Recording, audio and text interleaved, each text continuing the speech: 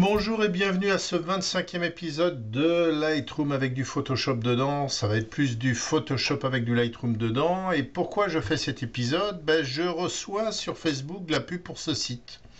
Photologo. Donc euh, vous voyez l'adresse en bas à gauche, hein, photologo.co. Et euh, ces gens-là vendent des signatures euh, pour photographes. Alors je suis allé voir dans la galerie. Et donc, il vous propose de réaliser une signature euh, comme ça, euh, jolie, avec du script, euh, avec un petit texte en dessous, ainsi de suite. il, y a, différentes, différentes choses comme ça, par exemple. Et je me suis posé la question, c'est quoi un photographe aujourd'hui? Un photographe, c'est quelqu'un qui sait évidemment prendre des photos, mais une une récente conférence, là, l'Union des photographes professionnels a défini un peu le, boulot du, photographe. C'est un peu plus que ça maintenant, ça fait aussi un peu de vidéo, ça doit être euh, polyvalent, polycompétent, ça doit maîtriser euh, les retouches. Donc je veux dire, un photographe qui n'arrive pas à faire ce genre de signature sur Photoshop, j'aurais tendance à dire que c'est un peu inquiétant. Euh, il devrait être capable de le faire, en tout cas maintenant s'il veut être un peu polyvalent, polycompétent. Donc bah, je vais vous montrer comment faire, hein. comme ça vous n'aurez pas à payer les... Euh, alors là on a de la chance, hein. c'est en promo, normalement c'est 100 dollars, et là ils font de la promo à 39,99. Euh, puis on va essayer de voir ce qu'on peut faire, hein. c'est ce que je vous propose. Alors pour ça, on va d'abord aller sur internet et on va aller chercher des polices de caractère. Là, vous avez un site qui s'appelle euh, dafond.com où vous allez trouver plein de polices de caractère. Donc là, ce qu'on essaye de faire, c'est plutôt de la calligraphie.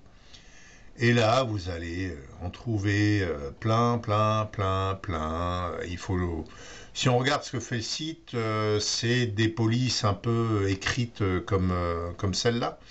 Mais là, vous choisissez un peu ce que vous voulez. Euh, pour installer une police, j'espère que vous savez le faire. Il suffit de télécharger le fichier. Ça sera un fichier .zip. Vous l'ouvrez, il y aura un TTF euh, dedans pour Windows. Vous double-cliquez dessus et ça vous installera euh, directement la police. Donc vous allez sur ce genre de site, vous regardez un peu les différentes polices. Quand vous cliquez sur une police, vous voyez aussi comment sont les lettres à l'intérieur. Donc vous voyez, ça vous montre le D, le G, des caractères spéciaux, ça vous montre un peu tout ce qu'il y a à l'intérieur de la police. Euh, ça peut être intéressant d'avoir ce genre de détails. Donc on va partir du principe que vous avez trouvé une police qui vous va et on va essayer de faire un logo. Donc ben, on va aller euh, sur Photoshop et puis ensuite on essaiera d'utiliser ce logo à l'intérieur de Lightroom. C'est parti sur Photoshop. Donc nous voilà sur Photoshop, euh, je vais faire un nouveau fichier, nouveau, on va dire qui fait 3000 euh, par 3000, euh, on va faire un gros logo, Lightroom le rendra plus petit de toute façon lorsqu'il en aura besoin. Ok, je vais dupliquer un calque ici et je vais faire un logo blanc. Donc pour me rendre compte de ce que je fais, ça je vais aller le remplir en noir. Ok. Maintenant ici je vais mettre du texte donc du texte. Euh, alors 1000 pixels. J'ai repéré une police de caractère que j'aimais bien, moi, qui la Jellica St. Andrew's Queen, ici, et je vais euh, mettre en blanc. C'est bon, et je vais faire un logo avec OOP, puis photographie, donc un O en majuscule, un petit O en minuscule, un P en majuscule. Voilà, alors là, ici, c'est trop espacé parce que j'avais fait Mumuse là avec l'espacement que je vais remettre à zéro.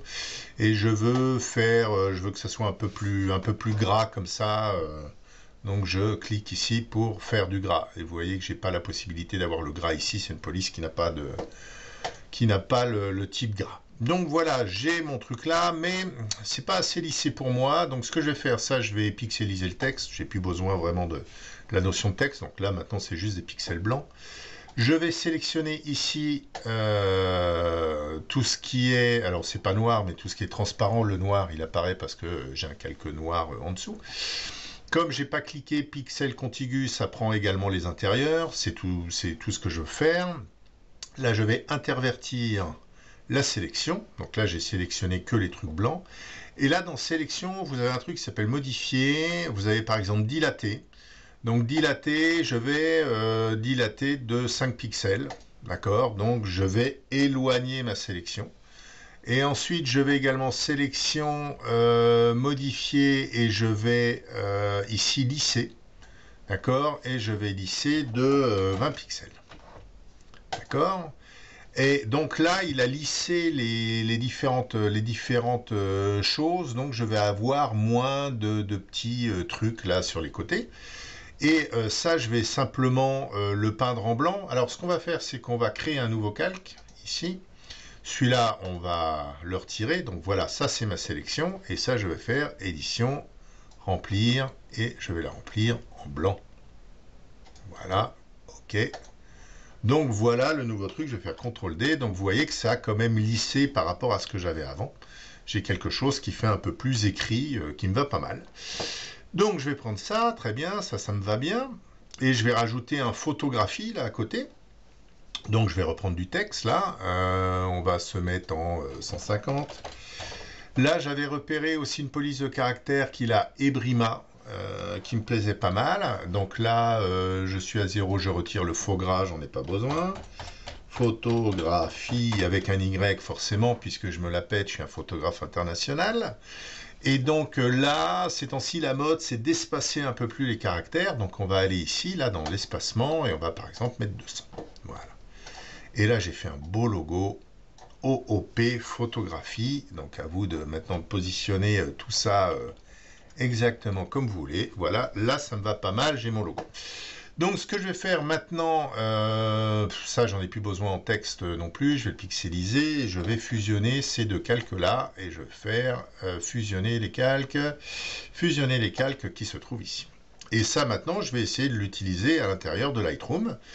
Donc je vais euh, sélectionner ça, ok, c'est la partie qui m'intéresse. Je suis donc sur le calque là que je viens de fusionner. Donc là, je n'ai que des pixels blancs. Hein. Vous voyez, si je retire le fond, ce n'est que des pixels blancs. Le fond me servait simplement pour voir ce que je faisais. Donc ça, je le sélectionne, CTRL-C, je fais Fichier, Nouveau, euh, aucun intérêt, CTRL-V, et donc là, j'ai bien mon logo qui s'est mis là. Et ça, maintenant, je vais l'enregistrer en PNG pour garder la transparence qui est derrière. Donc Fichier, euh, enregistrer sous, donc là, je suis dans un répertoire de formation. Je vais mettre le logo, on va l'appeler OOP et on va mettre euh, ici un euh, format PNG enregistré. Euh, je m'en fous un peu, c'est pas grave, on va mettre ça comme ça, on va le compresser un peu et on va pas le mettre entrelacé. Ok, donc là j'ai mis mon logo, puis on va aller voir dans Lightroom bah, comment je vais utiliser ça. Donc nous voilà dans Lightroom, hein. on est bien dans Lightroom, hein. j'ai juste caché les panneaux là, donc euh, on est bien sur Lightroom, vous reconnaissez bibliothèque, développement, et là je vais exporter cette photo. D'accord Donc euh, exporter, voilà. Je vais prendre un preset que j'ai déjà fait là en 1000px, et je vais simplement ici aller euh, modifier un filigrane, d'accord Et je vais faire modifier les filigranes, d'accord? Là, je vais choisir donc mon image. Donc je suis dans photo, formation, logo, je prends euh, mon logo. Donc là qui est là euh, en bas. Et maintenant, euh, ça je vous ai déjà fait un chapitre là-dessus. À vous de décider où vous voulez le positionner. Là, je vais le positionner plutôt, on va dire ici. Voilà. Puis ensuite, vous pouvez choisir la taille. D'accord? Et il est là. donc je vais le mettre quelque chose comme ça. Et puis on peut le décaler à droite, à gauche le décaler aussi en haut en bas, mais finalement je pense qu'il sera peut-être mieux là, donc je vais le mettre là. Voilà. Je suis pas un fan du tout des signatures, hein, vous le savez, mais c'est juste quand même pour vous montrer comment on peut faire. Donc je vais le mettre là au coin, euh, et puis je vais, comme j'ai la grosse tête, je vais le mettre un peu plus grand.